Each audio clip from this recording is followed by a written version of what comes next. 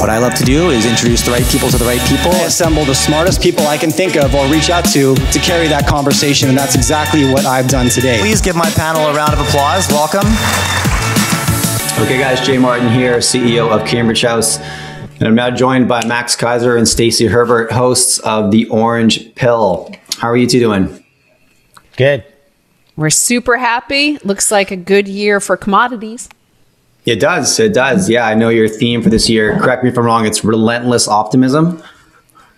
We are relentlessly optimistic because we are in the Bitcoin community, and it's hard not to be relentlessly optimistic. As Paul Tudor Jones, legendary hedge fund investor, says about the Bitcoin community, it is a bet on human ingenuity.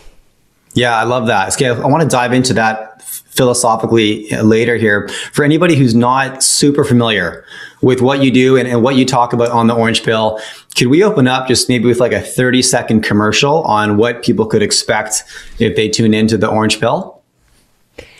Orange Pill Podcast is relentlessly optimistic about the future.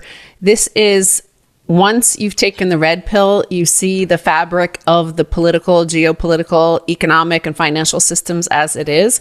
Then what comes next? And that is, we believe, the orange pill. And it's a relentlessly optimistic one if you choose to realize what Bitcoin has delivered is individual sovereignty back to the individual, back to the human individuals.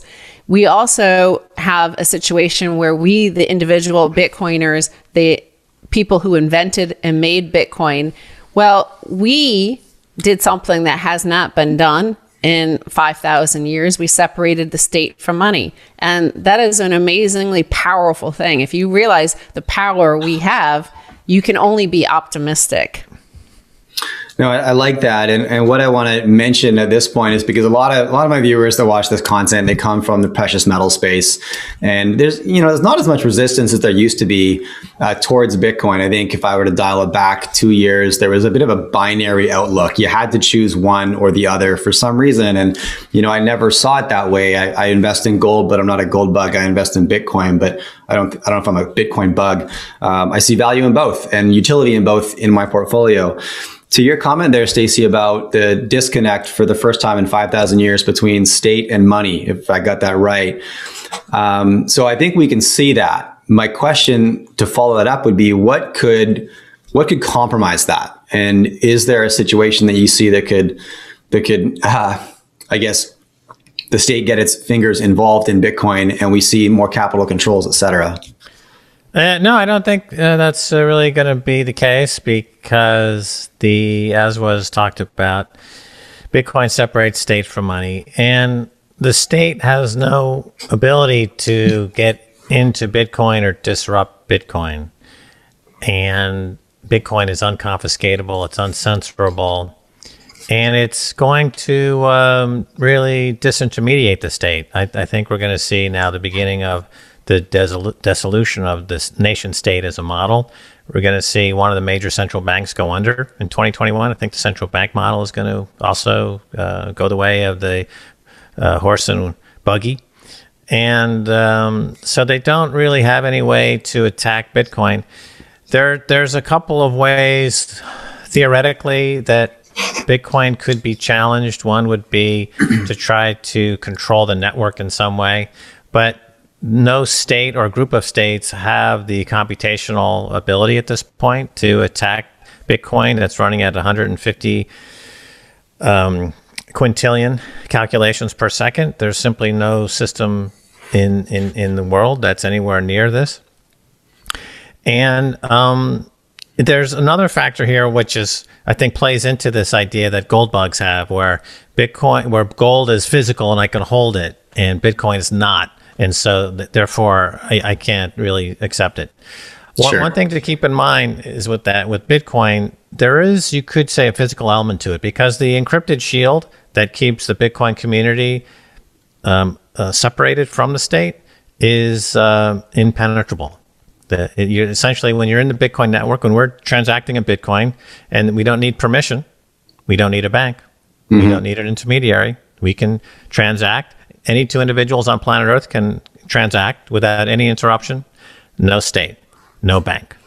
and uh, there's no ability by any outside force to stop that because the encrypted shield that protects the network is impenetrable for the, what I just mentioned. So, in that, and to that degree, it's it's physical in that sense, if if you can think of it in terms of it has a physical attribute, just as a brick wall would be. A, you could not w- run through a brick wall. You know, there's the physical yeah, uh, object in your way. You cannot penetrate or pierce the encrypted shield that keeps the Bitcoin network free from the state. So right. that's like a, a wall. So you can't break it. So I think gold bugs, if they have that if they think about it in those terms, they can migrate over from gold and start to see Bitcoin and understand the Bitcoin use case and the Bitcoin value proposition. And you get more of the gold crowd into uh, Bitcoin. I agree, and thanks for that. And so, and, and yeah, the, the, tangible element, you know, doesn't bother me so much, or never really has, I guess, because um, you know we're a technology-driven species at this point, and you can look at a five thousand year history relying on an asset, but so much has changed in the last hundred years that we could, you know, it's it's I don't know how relevant it is anymore. You, you know, so I, I want to follow up with a question there, and I guess keep in mind that my my my understanding of Bitcoin, I would call juvenile, right? I, I dollar cost average into Bitcoin and, and Ethereum pretty much. And then I, I you know, play in the, in the, capital markets opportunities a little bit as a wealth creation uh, exercise, companies that are leveraged to the crypto price. When I ask about the state and Bitcoin, I guess where my mind is at and explain to me how this is wrong is not so much that the state gets involved in Bitcoin, but the state shifts to those who hold the most Bitcoin. You know, if we're talking about a finite uh, number of coins. And there's a small population of people that, I mean, like yourself, that were, you were a decade ago talking about why this had utility and why people should pay attention and, and started building a, an allocation my next door neighbor isn't going to turn his head until the price is 100,000, 150,000, and then he's purchasing the same asset at a vastly inflated price. Will never have anywhere close to the quantity, and so would we would could we end up with a very small population that controls 90% of the value, and that essentially becomes the state in some way? Well, I think the state, you see, there's a game theory layer baked into the Bitcoin protocol. And we want the states to try to get involved. And we want the sovereign wealth funds. And we want the hedge funds. And we want the Michael Saylors. And we want the private corporations. And we want the balance sheets. And we want Elon Musk. And we want Jeff Bezos. Because uh, the more people come into Bitcoin, the hash rate goes up, the security goes up, and the price goes up. So uh, we want everybody in the world, every government, every sovereign wealth fund, every money manager, every household to buy Bitcoin uh, and to enjoy the price appreciation going forward. Um, you do have now that transitionary period that will come from Bitcoin as a store of value, where it is now, to becoming a medium of exchange. And that's happening quite rapidly. And I think it, will start to push aside other payment rails in the next couple of years to unit of account. So we are heading to a world that things are priced in Bitcoin. And so any amount of Bitcoin will be needed if you want to participate in the global economy. I right. would follow up I would follow up with that and I would say that a few things. First of all, regarding your previous question to Max, is that when you separate a state from money, the previous moment, revolutionary moment like that, was when we separated church from state. And that was something that also broke thousands of years of human behavior there were these divine people that God Himself appointed to lead over us, rule over us. And something snapped that we attacked these people, beheaded them in France, and just like that is a huge break that you can never go back. France will never have a king again because they've already beheaded it because they've already said there is no divine individual. We're all we all have human rights. We all have you know have the same natural law applied to us. Well, the same thing happens when we broke this connection between money and state. Now, I think originally, like when we first started using gold as money, there was no centralizing state around money. And I think it slowly happened because humans didn't understand what they had with gold for thousands of years. The, the age of Medici was the, uh, an amazing period of time when you know the state had to come to the Medici's. They had to come to the people who with gold and beg them to finance their wars. Mm-hmm. And then after, soon after the age of Medici, the Renaissance, then the state started with the Bank of Amsterdam to start grabbing people's gold, convincing them. They didn't steal it at first. They just convinced them to give it to them, and they would give them these bonds or de- or credit instead. But that was a mistake. And now we have Bitcoin. So we, we can move on from that. Now, in terms of power, there, there is no central authority in Bitcoin. Even the whales, who even those people with lots of Bitcoin, we proved that in 2017 with the fork wars. The the the the giants, the whales, the corporations, the powerful you would think powerful individuals in Bitcoin tried to fork it, hard fork Bitcoin to uh, you know something that the users, the little minnows of Bitcoin, did not want, and the minnows won because they were more than you know just even by having like a fraction of a bitcoin versus the guys with tens of thousands of bitcoin. There was nothing that you, they could do because of the amount of users all around the world that decided they didn't want what the whales wanted Right. Plus, as you move into an era of Bitcoin as unit of account, those those holding large amounts of Bitcoin will start to circulate those Bitcoin because everything will be priced in Bitcoin. so if I want to buy an 85 foot Hatteras yacht, I'm going to be paying Bitcoin. That means I'm disgorging some of my Bitcoin, and Yeah. the Hatteras yacht maker is now taking Bitcoin. So that's the transition of money. It goes from a uh, you know, store of value, or first it's a collectible, then a store of value, then a medium of exchange, then unit of account.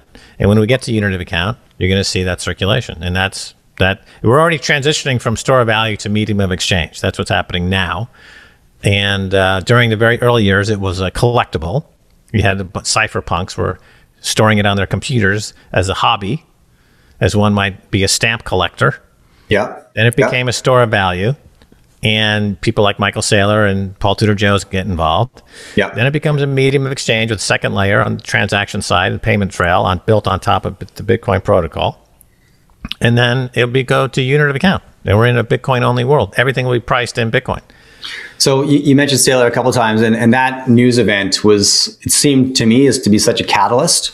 So talking about the significance, for anyone who's not familiar, Michael Saylor, the CEO of MicroStrategies, made, Max, correct me if I'm wrong, maybe the, the first significant bet from a corporate treasury into the Bitcoin market. Probably not, but the first one that caught headlines from what I saw anyways. Right. So Michael Saylor, you know, he first looked at Bitcoin in 2013, and uh, he was a skeptic. Then the what Stacy's talking about there, the block size wars of 2017, convinced him that of the robustness of this technology and the invincibility of this technology.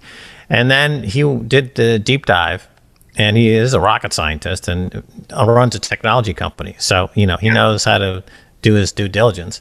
And after a couple of years, he emerged as this huge buyer on MicroStrategy's balance sheet. And his use case is that it's a reserve that, unlike the dollar, is not losing 20% due to inflation every year.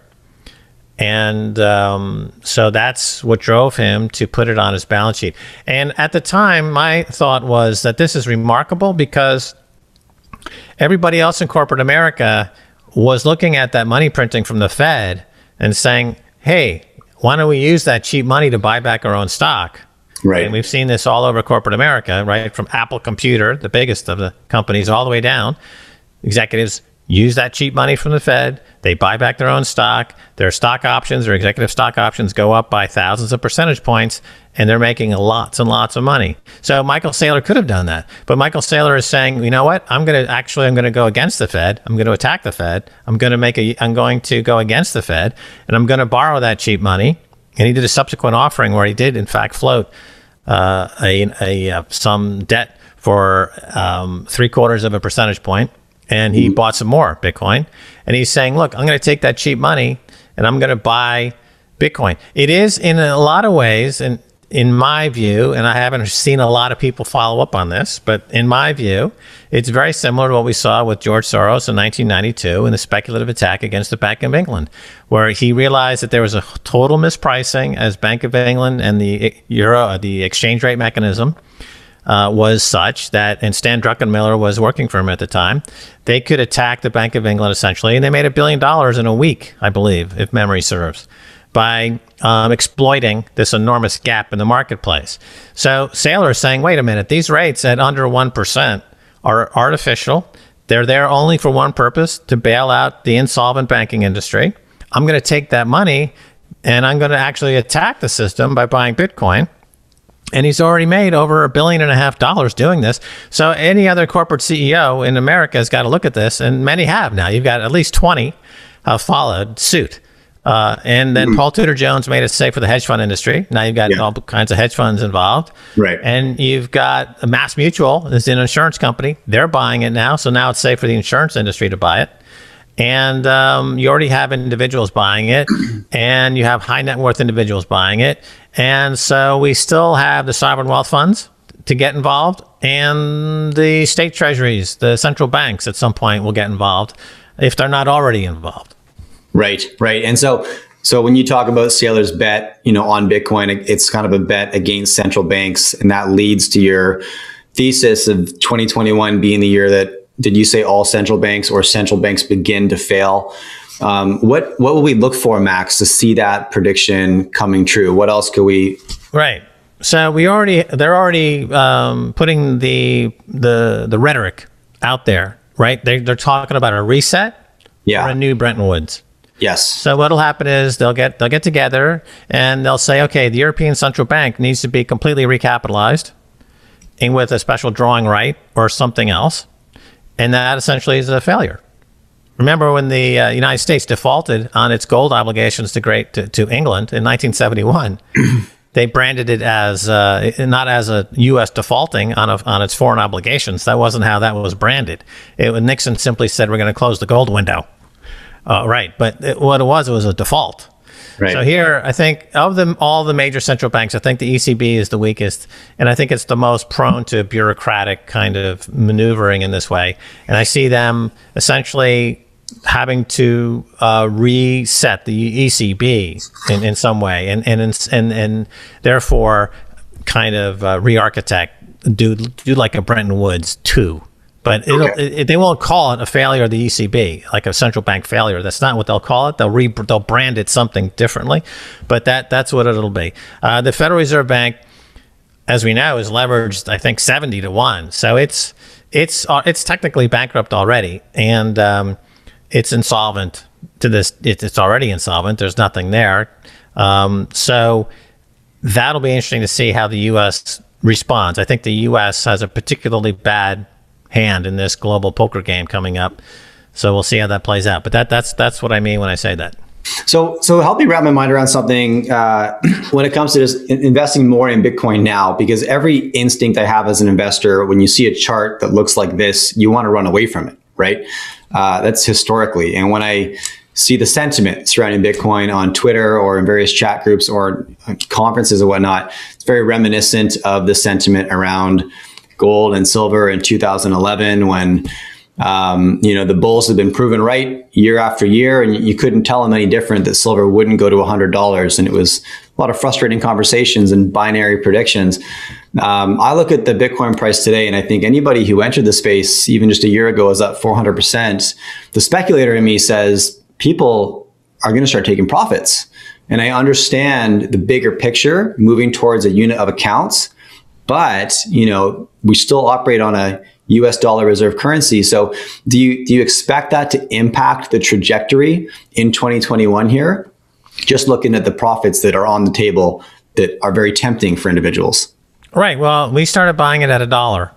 Yeah. So uh, that question has been around for 10 years, right? Uh, when it was at a dollar and then trading at $50, uh, you're like, wow, it's, you know, it's a 50x return. That chart looks pretty uh, parabolic. Uh, same thing at five hundred dollars and a thousand and ten thousand, and now we're up around you know pushing high thirty thousands, forty thousands. But I think what people need to understand about Bitcoin is that it is the birth of an entirely new asset class, and it's on its own vector, and it doesn't correlate with anything. and it's disrupting the entire global money system and disrupting gold. And gold, as we know, is in the what ten to trillion dollar market cap level, and Bitcoin should trade uh, at an even market capitalization to gold. So we're talking four hundred thousand plus per coin, and that's still a, a huge return from the current high thirty thousands to forty thousand. That's number one. Number two, there's just not a lot of supply. Uh, the Bitcoins on the supply side is very meager. And the protocol is ingeniously designed so that every four years, the output or the supply is cut in half. You know, we have the halvings every four years. We just went, we just experienced one recently in the last six months or so, and um, that, of course, gets people's attention because that supply is shrinking. Unlike the gold market, where the supply is, you know, call it two and a half, three percent a year, and if the gold price were to get to $5,000 an ounce, you know that the supply would go a lot higher because suddenly technology would improve, people would uh, do more exploration, they would find more deposits. And just like we saw in the oil industry, remember the idea of peak oil? And oil was at $147 a barrel. Oh my gosh! Well, then here's fracking. You know, they the technology closed the gap, and suddenly there was a supply glut of oil, and uh, the price got very, very weak. And the same thing can happen in the gold market. Uh, whereas uh, that's impossible with Bitcoin. It's algorithmically deterministic at 21 million coins. That's it. The supply uh, on a daily basis, we're currently at 900 coins a day, is constantly shrinking every four years as per the halving.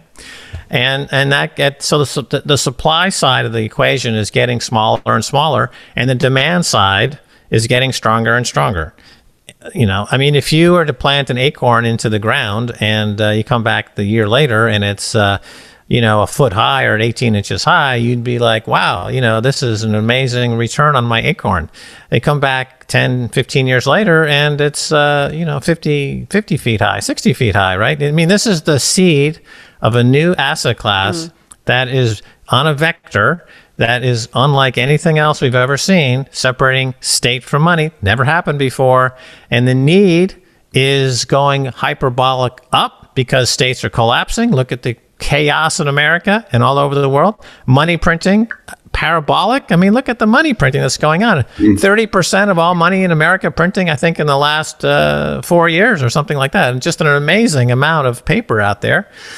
And uh, the ability to transact online is instantaneous. Anybody with a telephone can buy Bitcoin. Money managers have no problem getting huge amounts of cheap money. They can buy Bitcoin. So that's why, you know, you got to think of it like, um, uh, you know, we, we've seen, I think Apple, Apple stock adjusted for splits is if you were to, uh, go back and and reverse all the splits, it's trading for around thirty thousand per share. Okay. And uh, so Bitcoin at thirty thousand a coin, right? I mean, when you combine gold with a messaging app, you have this phenomenon, and it's not go- it's not going and it's not going to get shrink. It's only going to expand exponentially. It's exponentially expanding. I also want to point out that Paul Tudor Jones, when Bitcoin was at 16,000, said it was mispriced.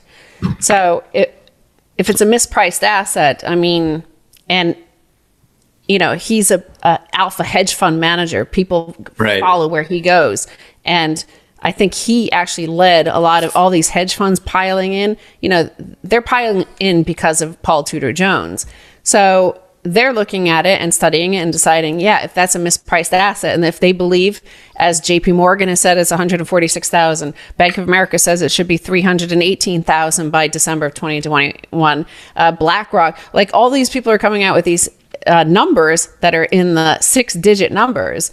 And all these hedge funds are like, I don't care if it's um, if I overpay at forty thousand because I'm going to grab it because I know it's going to two hundred thousand. So, like, is if it's mispriced, it's hard to, you know, if it if it has to go parabolic to get to the right price, and then start leveling off and and trading around there. Yeah, exactly. So it has to it has to reach some stasis or equilibrium price where it flips over to unit of account, and right. that's I think got to be it's got to be a lot closer to the valuation of gold So that's a 20, 30, 40x from here.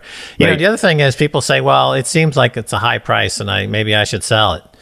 Remember, there's never only one decision when you sell something. There's always two decisions because after you sell something, you have to buy something. Yeah. If even if you go back into cash. So Sure. are, the Yeah. question is, okay, am I going to sell my Bitcoin and sit in fiat money? you know, that would be something. Even Dr. Kevorkian, the suicide doctor, wouldn't recommend something as stupid as that. So then, what are you going to do? You're going to buy uh, the stock market. And you're going to buy Tesla stock at a thousand times earnings. Yeah. You're going to buy the bond market at a 300 year top, a 300 year high for the bond market. Is that where you're going to park your funds at, with negative interest rates? Right. Right. So where are you going to where are you going to sell your Bitcoin and go where exactly? And do you know? Uh, it it doesn't make any sense.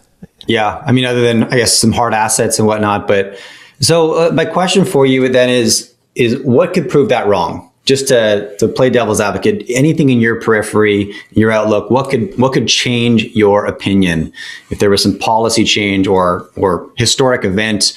Um, is, is there anything on the radar, Stacy Max, that would change your your outlook? the American people decided to uh, nominate for president two options a, a clown or a man with cognitive decline.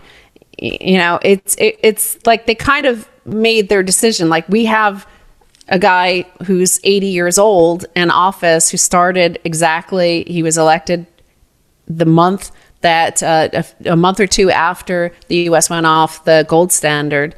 And I think we've kind of given up. I don't think there's anything I don't think there's anything a Joe Biden administration can do to rescue the dollar. And the dollar is all that matters, right? It, it, that's all that matters in the current paradigm. China's doing their own thing. They're stockpiling gold. They're probably stockpiling Bitcoin. I know they seized 200,000 from a, a Ponzi scheme operator, 200,000 Bitcoin. Who knows what they're going to do with that? But but they they're stockpiling resources. We have no idea like all those imports over the past decade how much they're actually stockpiling Sure. in preparation for this thucydides trap situation and the dollar collapse. I think they've been preparing for it. If you look at their actions that's what i'm assuming. So w- like this system because the world is under a US empire it's up to the US only the US could fix the situation because they're the ones in charge but like Warren Buffett had said with the derivatives, like where do they even begin? There's so much fraud in derivatives and, and, and debt, and, and nobody knows who owns what. And we, you know, so this country, we can't even distribute a vaccine. We can't even, we don't even make masks. Like we're sitting at home for 10 months printing up like hundreds of years worth of currency because we don't know how to make a mask and nobody apparently knows how to make a mask in this country a face mask a medical mask Yeah. so i mean what do you think that that sort of country can fix the system that they created I mean, No, how, I- tough I- would how, how difficult would it have been to just simply refabricate the treasury to print masks instead of dollars? Yeah, no, I'm with you. I'm totally with you on that. I know, Stacy, in answer to that question, I absolutely do not see any sort of competent leadership that's going to f- create a plan that, you know, would change the course of history as it's unfolding.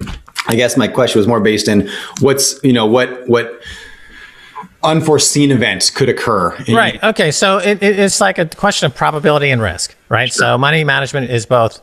You've got um, looking at upside and alpha, you know, but it's a risk adjusted, right? You've got to adjust for risk. So in the case of the fiat money avalanche, think of it like um, Niagara Falls, right? There's a there's a there's a Niagara Falls of cash that's coming into the system, and you're in a barrel, and you're heading for the edge of the falls and you get to the point where we are now in America, where the barrel has now gone over the edge and it's now falling down Niagara Falls and it's going to head for the rocks. So the question is what could stop the barrel from falling and hitting the rocks below? And the answer isn't um, absolutely zero because, for example, a flash uh, freeze Right. could happen Sure. and freeze Niagara Falls Yeah. and stop the barrel. A helicopter could come and you could extricate yourself from that barrel and you could avoid death. Okay. Sure. What is the probability of that? I would say it's not absolute zero, but it's close. Yeah. So I say, okay, what's the probability that the Niagara Falls of cash, which is destroying the American economy and the global economy, um, and we've got Bitcoin, which is now on a parabolic move, people escaping the, the blazing fire that is the fiat money bonfire of nuts running the system. What is the probability of that changing and going in reverse? And the, I would say if it's not absolute zero, because you never know, aliens could show up like Paul Krugman believes in aliens coming into America. The Galactic Federation. The Galactic Federation could show up. You, uh, Area 51 could could send over some some aliens and things. You know, you can't say it's absolutely zero, but right. I think it's as close to zero you ever find in the money management business. You know, with Bitcoin, I say there is no top because there when it comes to the dollar, there is no bottom.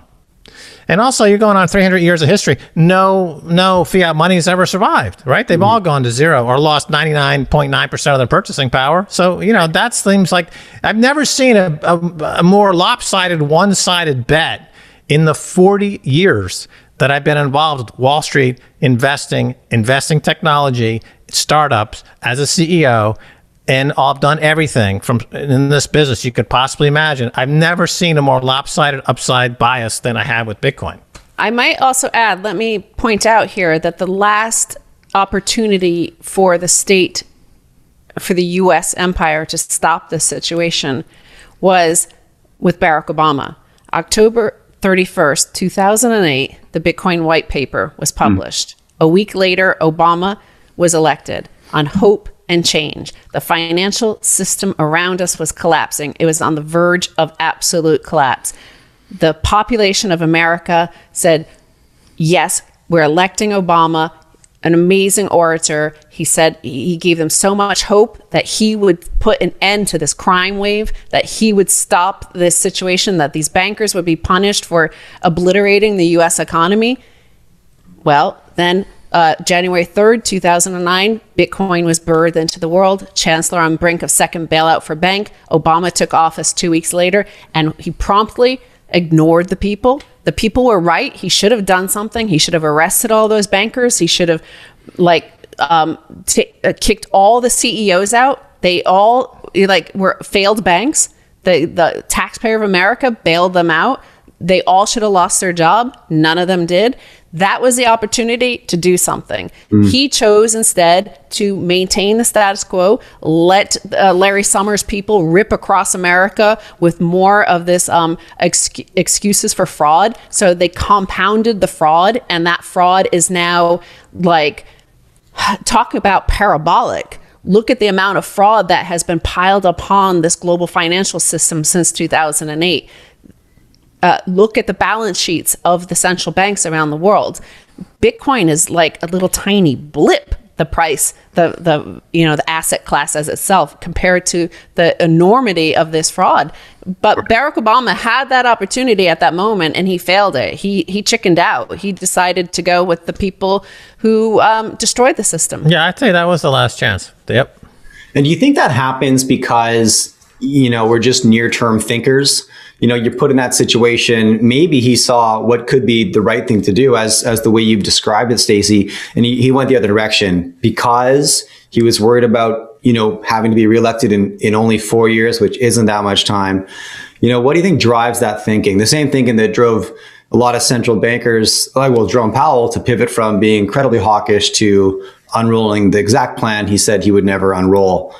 Well, past performance is no guarantee of future performance, right? So yeah. he was a heterodox. He was not a heterodox thinker. He was an orthodox thinker. And Larry Summers is the smartest guy in the room. Larry Summers worked with Bill Clinton, and Bill Clinton served for two terms. So he's just he's a mediocre thinker, an amazing orator, and that was what people confused. They because he was such a great speaker, people thought he must be smart as well, and like right. he must be inspirational and revolutionary. He wasn't a revolutionary; he was an orthodox thinker, and that's like he thought because he went to Columbia and then he went to Harvard and he was Harvard Law, that all his friends from Harvard are also smart like I am. And they, it's a hubris and smugness. And that's what, you know, a lot of people around the King of France and Marie Antoinette are thinking like, you know, you're appointed by God. You're divine. Like Yeah. nothing's going to happen to us. Well, it's a, there's a history to this. You know, in the 70s, New York threw the keys over to uh, the banks, Felix Lazard, Felix uh, Lazard Frere, and um, and then in the 80s, you had the um, they threw the um, the keys. Uh, over to uh, Wall Street, uh, Reagan threw it to Michael Deaver, who was an ex uh, Merrill Lynch guy, and then we saw the Clintons threw the keys to Robert Rubin and Larry Summers, and Alan Greenspan, and they brought in wave after wave of deregulation. Uh, they got rid of Glass Steagall. They brought in the Commodity Futures Modernization Act. They opened up China to world trade, right? And uh, every single time, every single one of those guys got fabulously wealthy on every single one of those acts. Then Obama comes around. And uh, they threw the keys to Larry Summers, and Larry Summers uh, got fabulously wealthy again, and his friends, and they did the same thing all over again. They deregulated, they um, even more, uh, and uh, so this is true uh, uh, throughout going, you know, back to the Reagan period. You know, we had Paul Volcker in this in the late '70s was the last central banker that understood the role of the central bank. Alan Greenspan completely rewrote the mandate of the central bank as being um, the Greenspan put era, where he said, you know, it's not our job to try to take the punch bowl away when the party gets too raucous. We're simply here to mop things up after the crashes. That's what he, he said many times. And also in retirement, he has recanted and said, actually, I was completely wrong in my entire ideology about central banking, and I apologize. He said that when he left office.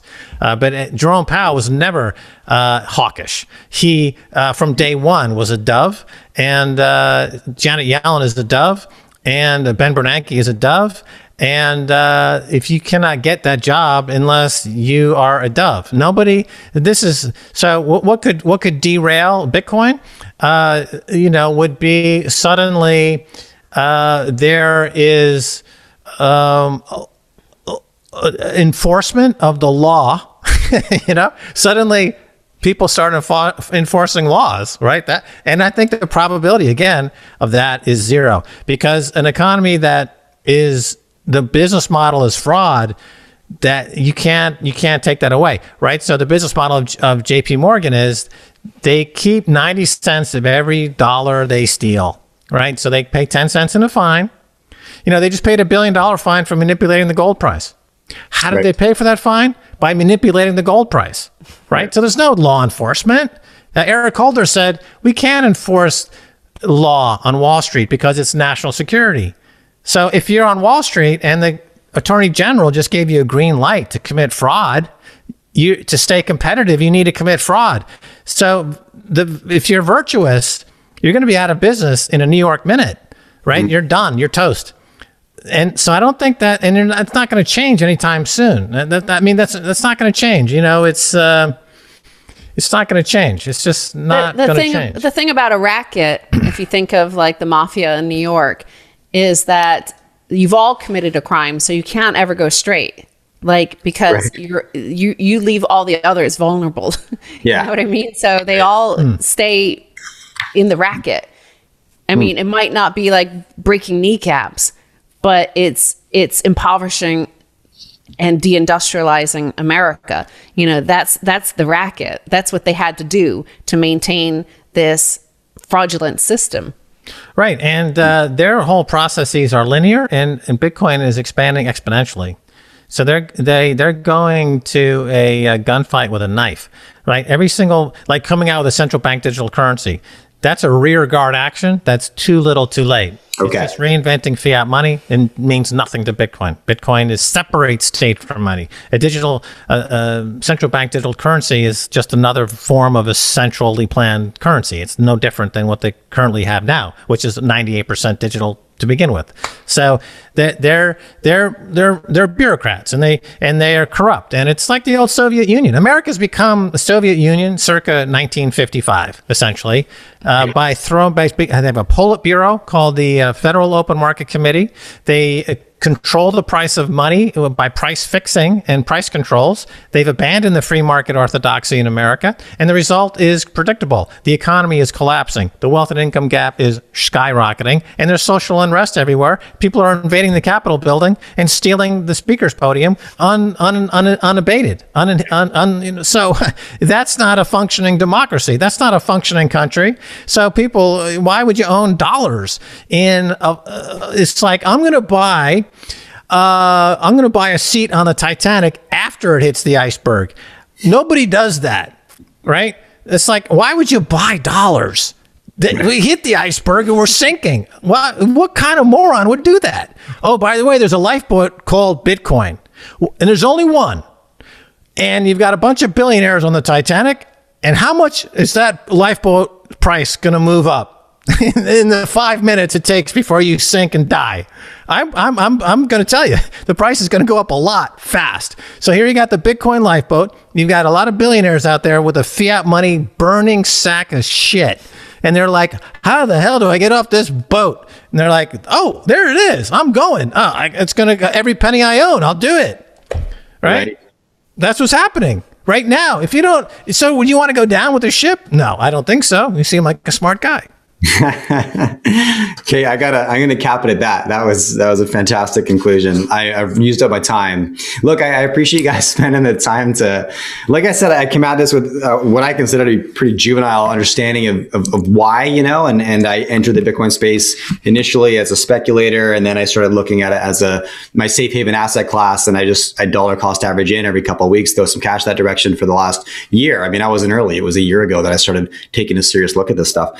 Um, um, and it's a, an asset that I don't trade. I just park it, set it, forget it. And, you know, ideally that, that pans out for me. And, and, um, you help provide some clarity on why that's, uh, why I'm doing the right thing. So I appreciate it. Uh, thanks so much for your time, both of you. Awesome. Thanks, Jay. Thanks.